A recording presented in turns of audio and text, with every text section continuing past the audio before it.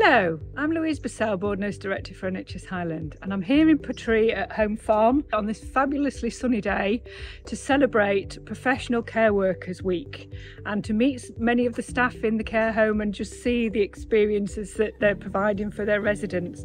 It's an absolutely beautiful environment, and the staff show an enormous amount of care and compassion. It's great to see, and it's great to talk to them about it. What I always said, as soon as the residents step into that door, they are family. Yeah, yeah, and each other's.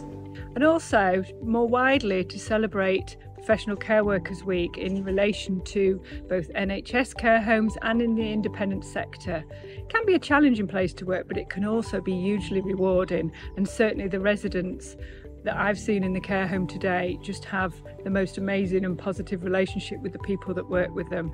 And I think that is just invaluable. I think this week celebrates that so many care workers are doing the right thing.